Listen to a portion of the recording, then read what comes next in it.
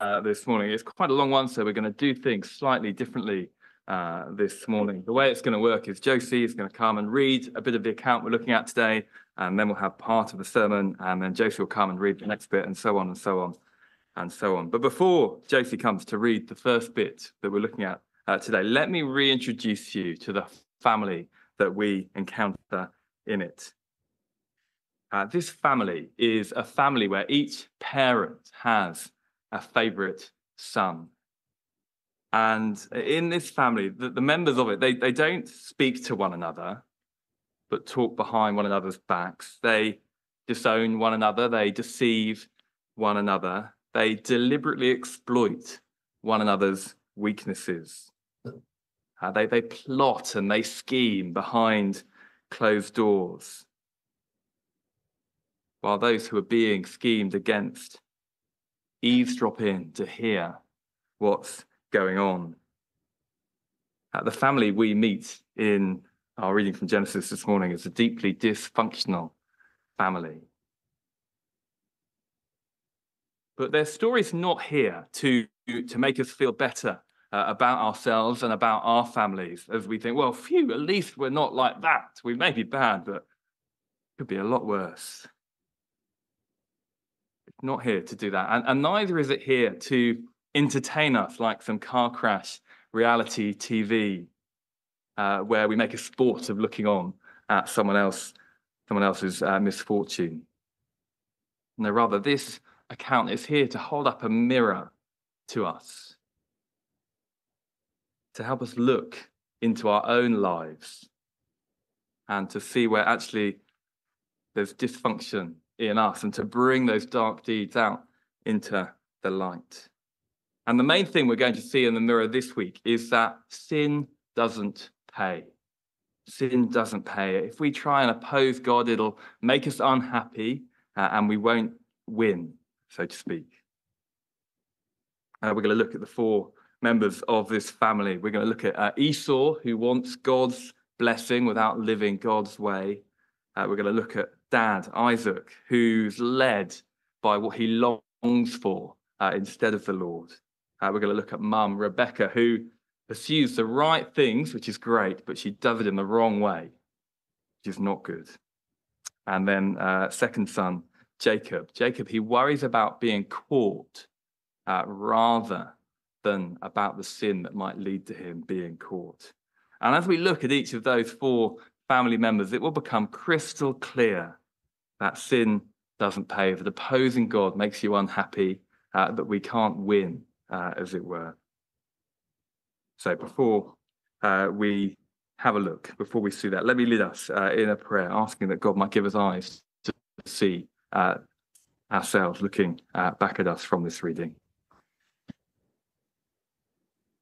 Our Father, as we come to a difficult part of your word this morning, as the Bible holds up a mirror to our lives, and we might see things in these characters that are in ourselves that we don't particularly like. We pray, please, that you would give us the humility to, to see that uh, and to own that, but that we wouldn't wallow in it, um, but that we would bring it to you, that we would admit it, confess it to you. And so enjoy the, the forgiveness and the restoration and the transformation uh, that you hold out to us. So we pray you might give us eyes to see ourselves, but also uh, give us hearts that, that long for and appreciate uh, the forgiveness you offer. And we pray that you do this in Jesus' name. Amen. Josie, come and read our first bit for us.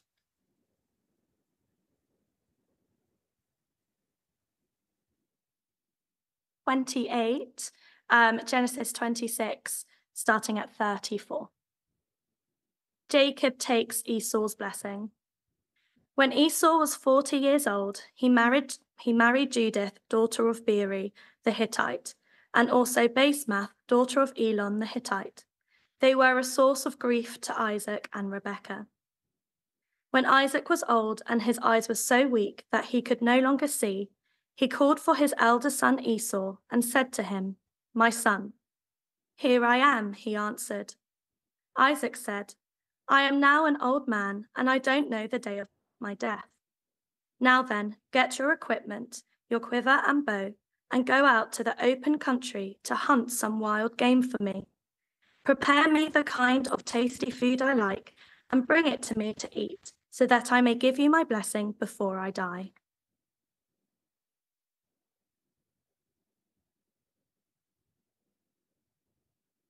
Thanks, JC. As we've seen, Esau is the first one to step uh, onto the stage. And as I said a moment ago, Esau is someone who wants God's blessing without living God's way. And he wastes no time in going about that. Did you see in the very first verse that Josie read for us? Uh, we have Esau marrying two people. That's not a good start, is it? Uh, Judith, daughter of Beeri the Hittite, and also Basemath, daughter of Elon the Hittite. Uh, he marries these two women, women not from his own clan, but from the Hittite clan. And, and that's a problem because uh, God had promised to bless the world through Esau's clan, Esau's family, not the Hittite clan. And so, as uh, Esau marries these two women, uh, he, he's sort of stepping out of God's plan. Uh, he's choosing not to live God's way. And he makes that mistake not once, but twice. And, and no doubt because of the, the fundamental differences in the way of looking at the world between uh, that his family have and the Hittite families have. These wives, verse 35, were a source of grief to his parents, to Isaac and Rebekah. not a great start, but then things get even worse as Esau's father Isaac steps on to the stage. Uh, Isaac, verse 1 of chapter 27, he, he's getting old. He knows he doesn't have long to live anymore. And so he calls his favorite son, Esau, into his room. And he says, Esau, it's time for me to pass on God's blessing to you. However, however, Esau knows as well as Isaac does that God has said that this blessing is not going to go to Esau. It's meant to go to his twin brother, Jacob. That's the line through which God is going to continue to bless his people and through whom he's going to bless the nations. And Isaac knows that, and Esau knows that, but he doesn't correct his dad when dad says, Hey, come in, let me bless you. He doesn't even say, Dad, are you sure we should do things this way? It's all a bit cloak and dagger, isn't it? Why don't we, we gather the family together? Why don't we just talk about this like grown ups? No, there's none of that because he's happy to go along with his dad's plan because he wants God's blessing without living God's way.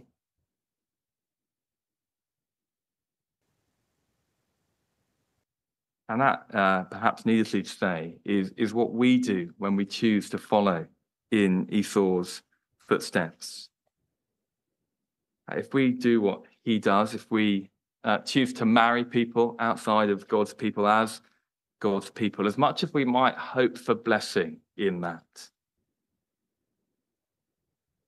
uh, the Bible's testimony and the lived experience of uh, many dear Christian brothers and sisters, friends of mine, is that we're setting ourselves up for grief and hardship and heartache.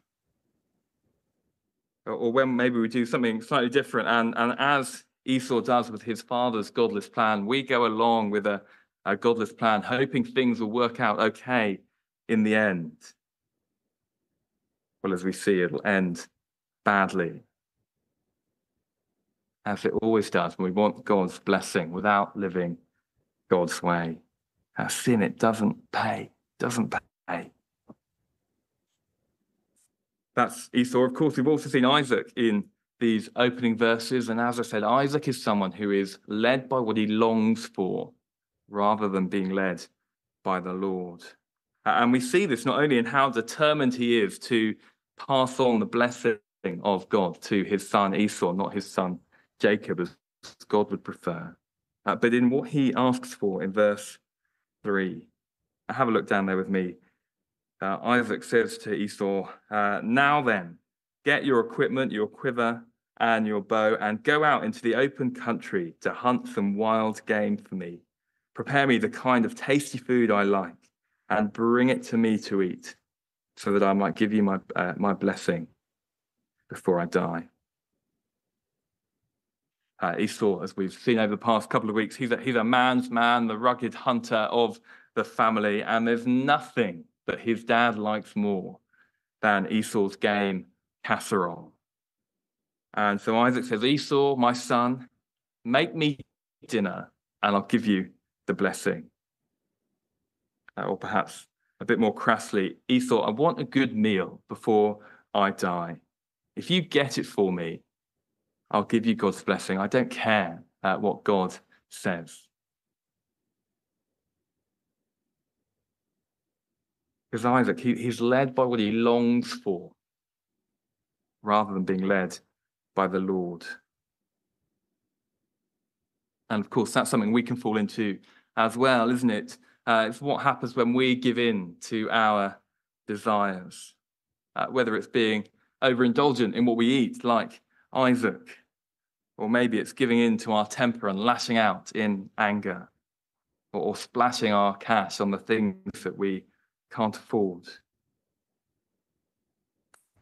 That when we do things like that, like Isaac, we're being led by what we long for uh, rather than being led by the Lord. And when we do that, as Isaac will discover, so we too will discover that sin doesn't pay. Not a great start, is it? Isaac and Esau, they haven't covered themselves in glory uh, we're going to read on and see if Rebecca and Jacob can do any better. Josie's got our next bit of our reading for us.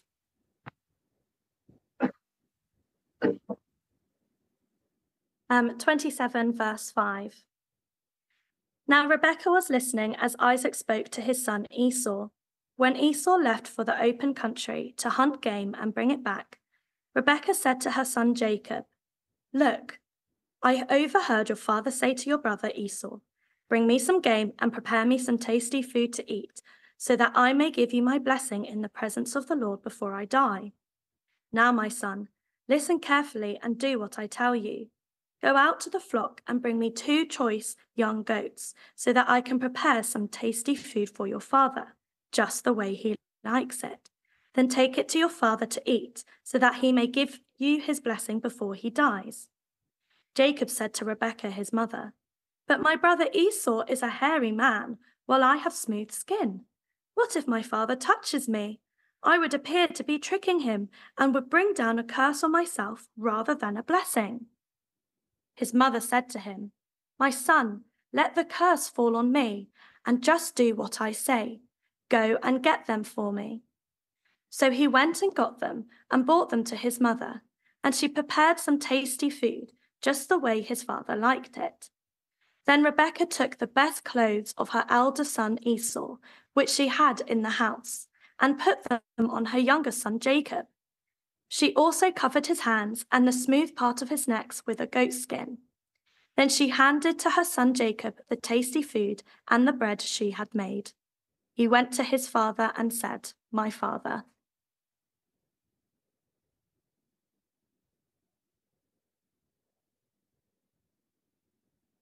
Thanks, JC. You probably noticed it got no better when Rebecca and Jacob appeared. Uh, because un- unbeknown to Isaac and Esau, Rebecca is listening in as they scheme. And so she knows, second half of verse, hang on, that's not verse 7.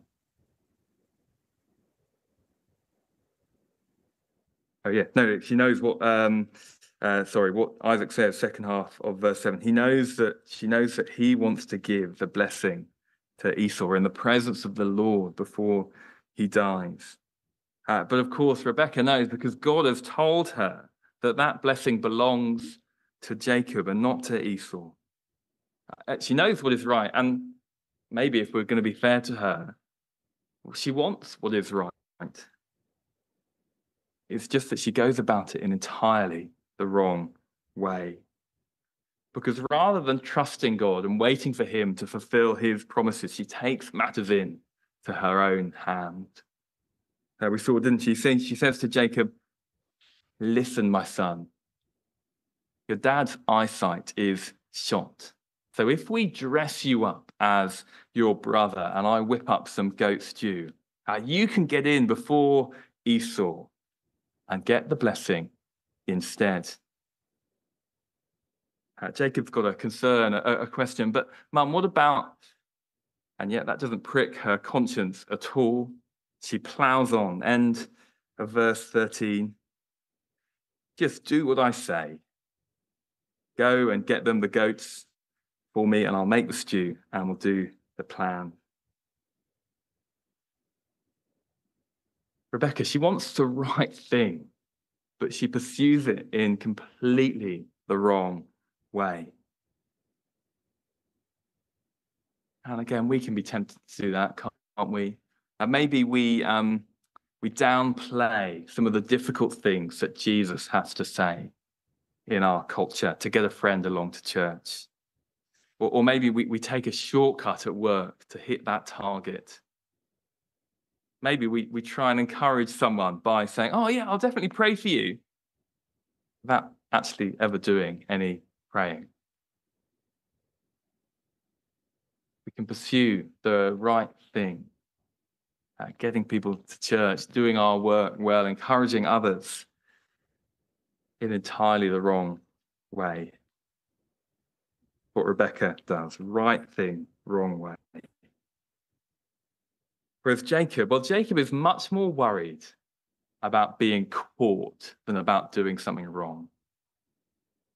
You see, when he hears his mum's plan, he, he's not worried about its morality, he's worried about its feasibility.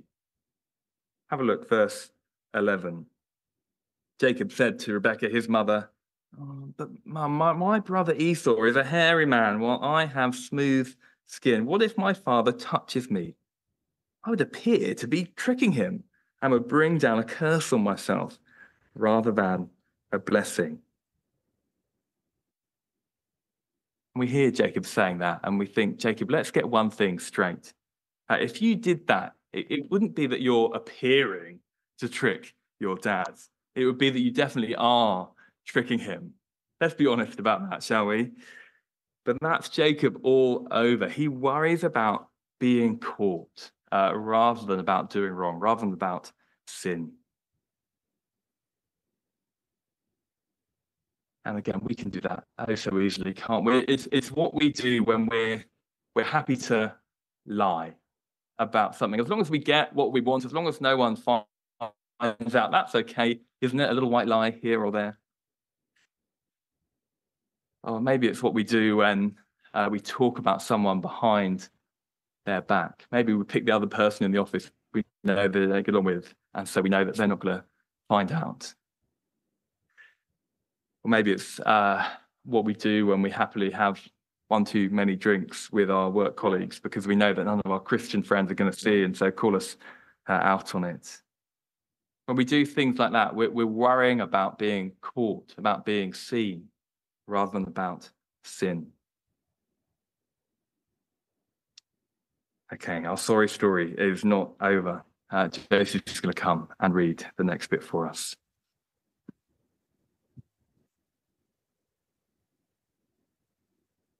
Verse 18 He went to his father and said, My father. Yes, my son, he answered. Who is it?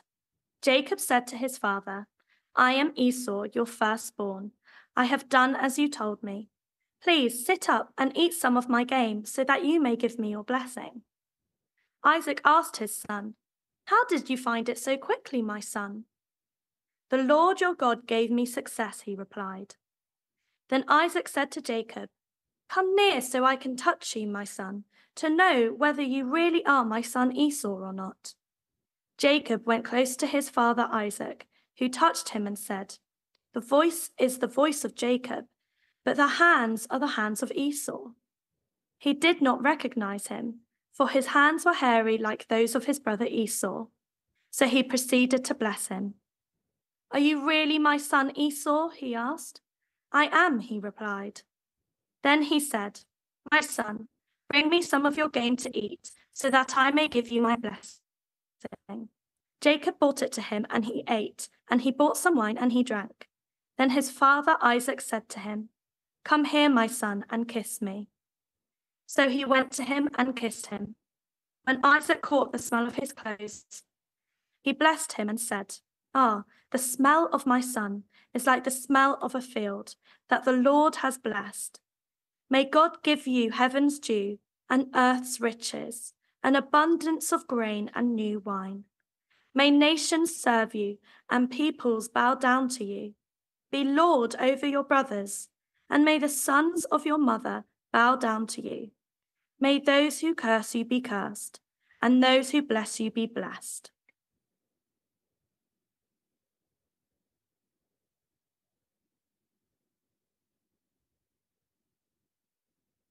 he takes the stew into his father, Jacob's main concern is still not being found out. Did you notice? First, he lies to cover his tracks. Verse 18 He went to his father and said, My father. Yes, my son. He answered, Who is it? Jacob said to his father, I am Esau, your firstborn. Then, verse 20, Isaac asked his son, How did you find it so quickly, my son? Oh, the Lord your God gave me success. First lies, then blasphemy. He's got no problem with sinning as long as he get away with it. Isaac, he's still not quite sure about this son. The, the voice, it just doesn't sound right. And so he asks again, verse uh, 24 Are you really my son Esau? I am, he, Jacob replies.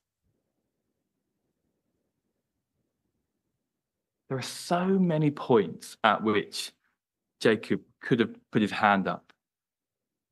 He could have repented. He could have said, Oh, do you know what, Dad? Actually, it's, it's me, it's Jacob look, I'm sorry, I've got myself in a real mess. can we have a grown up conversation about this, please? And yet he doesn't. Why is that? Oh, this is Jacob. He worries about being caught rather than about doing wrong, about sin. And again, we can so easily fall uh, into this. Maybe um, maybe someone challenges us on how we speak to uh, someone else, but but we sort of try and cover our tracks. Maybe we pull some biblical uh, language out. Oh no, I wasn't being harsh to them. I was just speaking the truth in love. And sometimes you have to say hard things to people. Now that might be true, but in my experience, when we when we want to say something like that, we're more worried about being caught than about doing wrong. Or maybe you've experienced something like Jacob experienced here. God gives us so many opportunities to repent, but we sort of back away from those chances and we don't want to take them.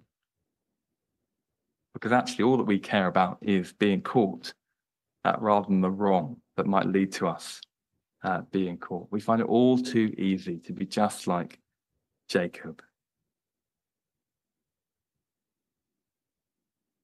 Tragically, though, it's not just Jacob who comes off badly in this section as well.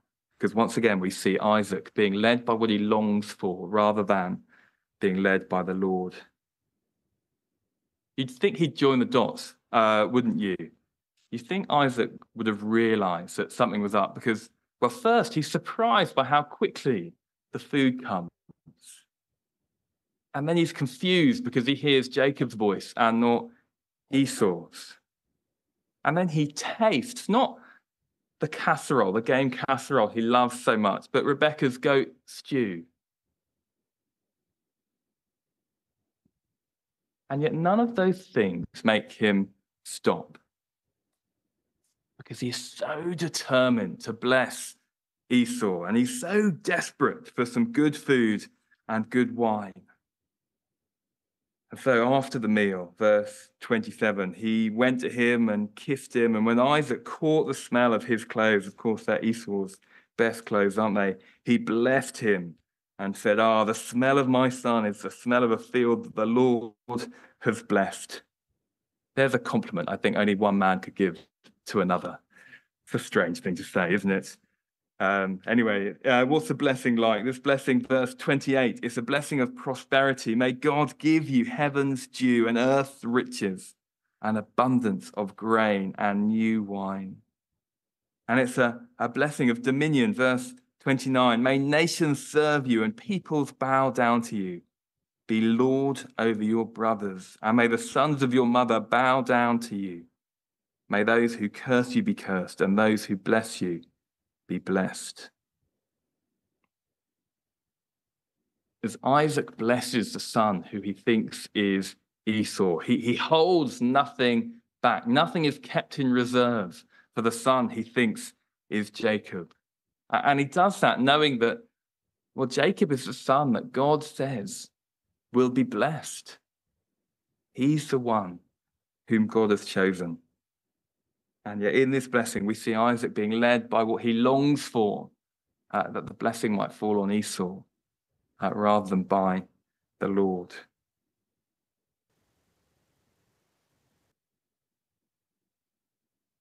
And isn't that something we can do too? We can so easily uh, suppress our consciences when they're telling us not to do something. And yet we, we sort of put our conscience in a box because we want to give in to the temptation that the conscience is warning us against. What Esau, uh, sorry, Isaac has experienced here. And when we do that, pressing our conscience, giving in to our temptation, we're being led by what we long for, and rather than by the Lord. Let's keep going. Josie, next bit, please. Thank you.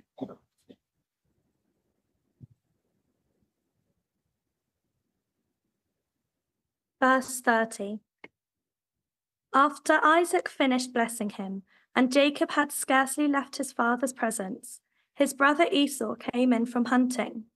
He too prepared some tasty food and brought it to his father. Then he said to him, My father, Please sit up and eat some of my game, so that you may give me your blessing. His father, Isaac, asked him, Who are you? I am your son, he answered, your firstborn, Esau. Isaac trembled violently and said, Who was it then that hunted game and brought it to me? I ate it just before you came, and I blessed him, and indeed he will be blessed. When Esau heard his father's words, he burst out with a loud and bitter cry and said to his father, Bless me, me too, my father. But he said, Your brother came and deceitfully and took your blessings. Esau said, Isn't he rightly named Jacob? This is the second time he has taken advantage of me. He took my birthright, and now he's taken my blessings? Then he asked, haven't you reserved any blessings for me? Isaac answered Esau, I have made him lord over you, and I have made all his relatives his servants, and I have sustained him with grain and new wine. So what can I possibly do for you, my son? Esau said to his father, Do you only have one blessing, my father? Bless me too, my father. Then Esau wept out loud. His father Isaac answered him, Your dwelling will be away from the earth's riches, away from the dew of heaven above. You will live by the sword, and you will serve your brother. But when you grow restless, you will throw his yoke from off your neck. Esau held a grudge against Jacob because of the blessing his father had given him. He said to himself, The days of mourning for my father are near, and then I will kill my brother Jacob.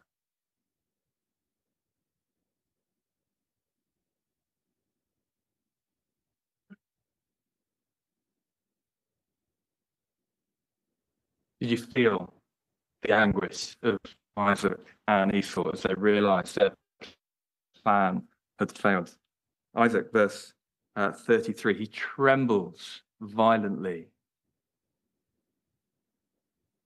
Why? Well, because blessings, they're a bit like an email. Once you've uh, clicked send, uh, there's nothing you can do to get them back, no matter how much you may want to. And he's given everything to Jacob. He's got nothing left to give to his beloved son, Esau. And so his blessing for Esau, it, it's not a blessing, it's, it's a curse. Verse 39, top of page 30. Your dwelling will be away from the earth's riches, away from the dew of heaven above. He won't know prosperity, he'll know poverty. Verse 40 You will live by the sword and you will serve your brother. But when you grow restless, you will throw off his yoke from your neck. He'll know servitude and strife. Not a blessing, is it? It's a curse. And so it's no surprise, just back a few verses in verse 34, that, that Esau's in shock. That he burst out with a loud and bitter cry and said to his father, Bless me, bless me too, father. And yet, even in this moment, even when Esau is desperate for God's blessing, do you know what? He still doesn't have any interest in living God's way. Um, have a look at verse uh, 36, where Esau said, Isn't he rightly named Jacob? Uh, his name means sort of grasping. Because he said, This is the second time he's taken advantage of me. He took my birthright, and now he's taken my blessing. And the problem with this, if you were, at, uh, as you would know if you were with us a couple of weeks ago, is that this isn't true. Uh, what Esau has just said here is a, a lie. Uh, Jacob didn't take his birthright. Esau sold it to him for a bowl of lentil stew. And yet Esau, he, he doesn't own his mistake. Rather, he, he, he rails against it and he comes up with a plan to get the blessing for himself. Verse uh, 41, back over the page, page 30. Esau held a grudge against Jacob because of the blessing his father had given him. He said to himself, The day of mourning for my father are near. Then I will kill my brother Jacob. He is thinking, if I knock off my brother, the blessing, it falls to me.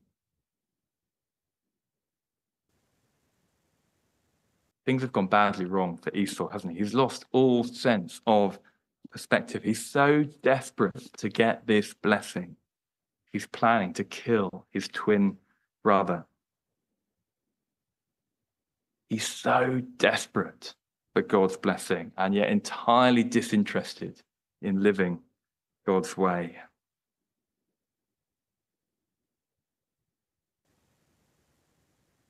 And when we too, when we fail to own our mistakes and our sin, sins and our, our shortcomings, and we, we lash out and we blame everyone else except ourselves, and we come up with increasingly desperate plans to try and secure God's blessing, well, tragically, we're walking in Esau's footsteps. And we're going to see what comes of his uh, tragic plan uh, in the final part of our reading.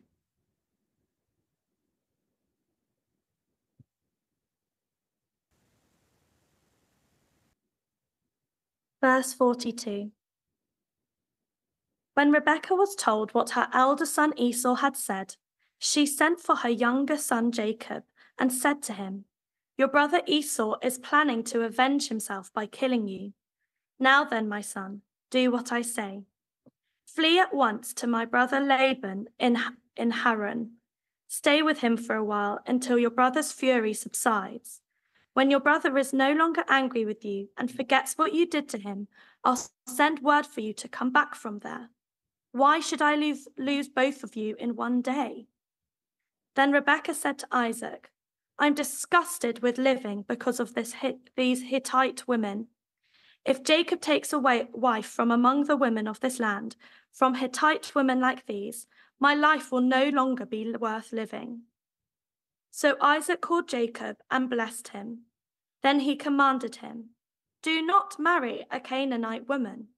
Go at once to Paddan Aram, to the house of your mother's father Bethuel. Take a wife for yourself there, from among the daughters of Laban, your mother's brother. May God Almighty bless you and make you fruitful, increase your numbers until you become a community of peoples. May he give you and your descendants the blessings given to Abraham, so that you may take possession of the land where you now reside as a foreigner, the land God gave to Abraham. Then Isaac set Jacob on his way, and he went to Paddan Aram, to Laban, son of Bethuel the Aramean, the brother of Rebekah, who was the mother of Jacob and Esau. Now Esau learned that Isaac had blessed Jacob and had sent him to Paddan Aram to take a wife from there. And when he blessed him, he commanded him, Do not marry a Canaanite woman, and that Jacob had obeyed his father and mother and had gone to Paddan Aram. Esau then realized how displeasing the Canaanite women were to his father Isaac. So he went to Ishmael and married Mahalath, the sister of Neb- Nebaioth and daughter of Ishmael, son of Abraham, in addition to the wives he already had.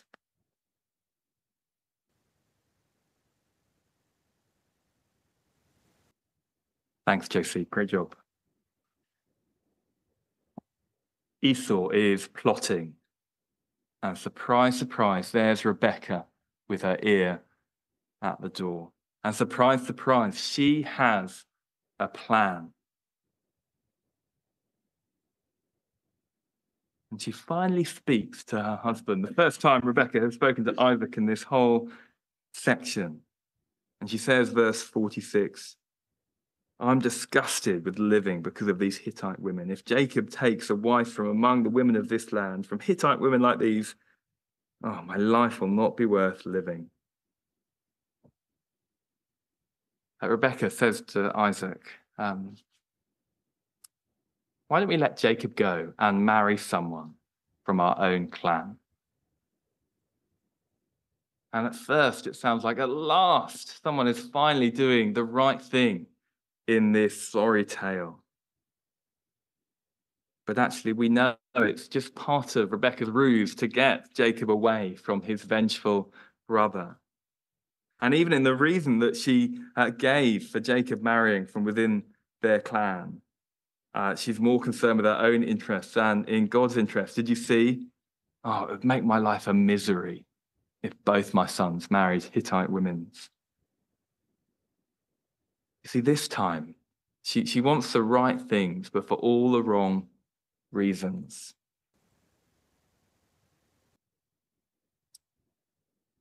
Perhaps uh, surprisingly, Isaac agrees with Rebecca and so he summons Jacob and, and sends him off to find a wife from their clan. And well, he wouldn't call it a happy ending, with, would you? But but it's better than it could have been, I suppose. They still have two sons. One's not killed the other. But as Jacob walks off the stage, uh, there's one final sorry twist to this tale. Esau, he realizes he's made a mistake in marrying these Hittite women. And so he, he tries to play catch up with his brother by taking another wife. And, and perhaps that should have warned him that his decisions was not going to be a great one. But rather than following his brother Jacob to his uncle Laban, he instead goes to his uncle Ishmael. And Ishmael is, is the one relative in the family who if you were with us this time last year when we were looking at Abraham's story, you will know that, that Ishmael has been declared outside of God's people.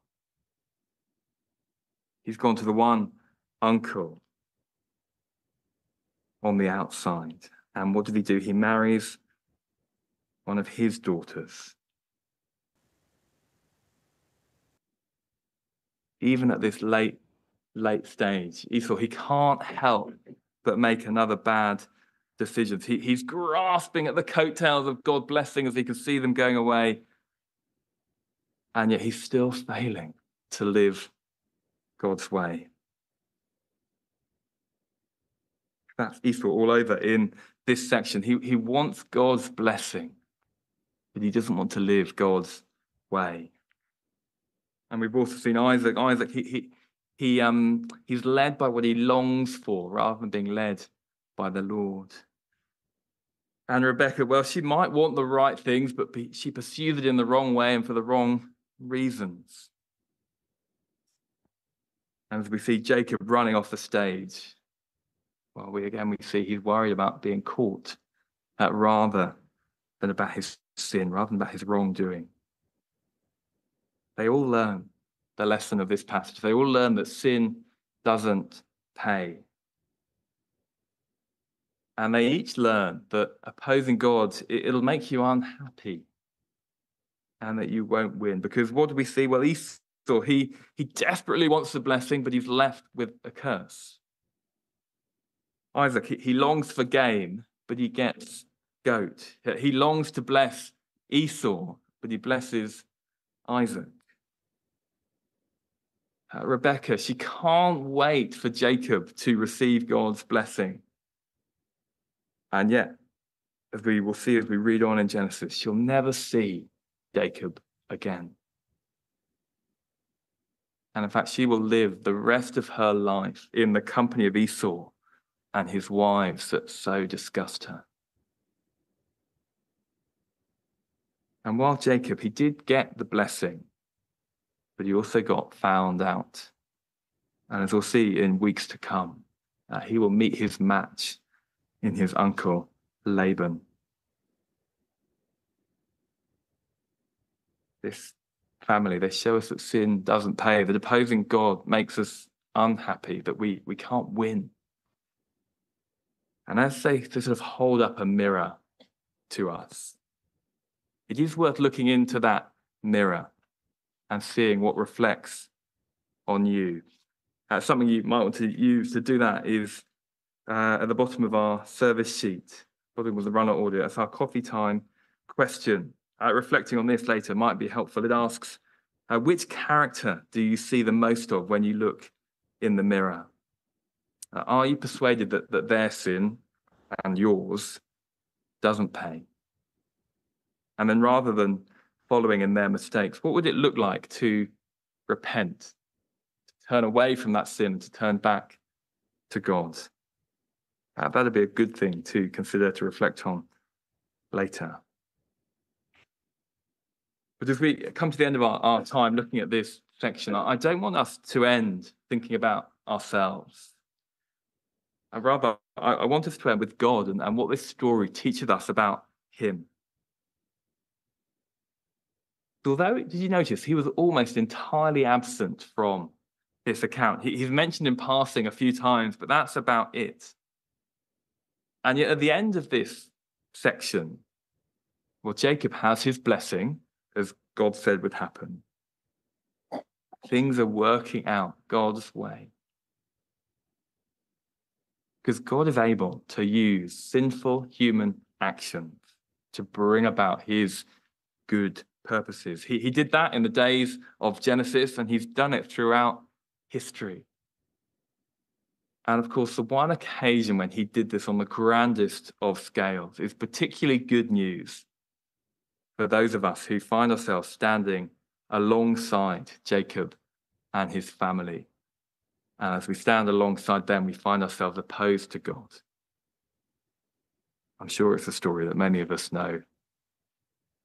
Jesus, the Son of God, had done nothing wrong and yet he was given over by his own people to be convicted by a kangaroo court before being killed as a common criminal. It was the most abhorrent, most sinful human action in all of history. And yet, what happened? Well, God used it for his good purposes. Uh, Jesus' death at the hands of sinners was the very thing that God used to save those sinners that death. It's how people like Jacob, like Esau, like Isaac, like Rebecca, people who don't deserve God's blessing can receive his most precious blessing, his forgiveness. You see, this messy account in our Bible, it's here to teach us that sin doesn't pay. It, it, it's here to encourage us to leave that sin that will make us so unhappy behind. But it also points forward to the place where we should leave it. It points forward to the foot of the cross and it invites us to leave our sin there, at the place where God worked through sinful human actions to bring about his good purposes of blessing those who trust in him that they might be forgiven. And so, in a moment, we're going to together take our sin to the cross. We're going to say a prayer of confession uh, together. But before we do that, let me just give you a moment, a moment of quiet to respond personally uh, to what we've heard.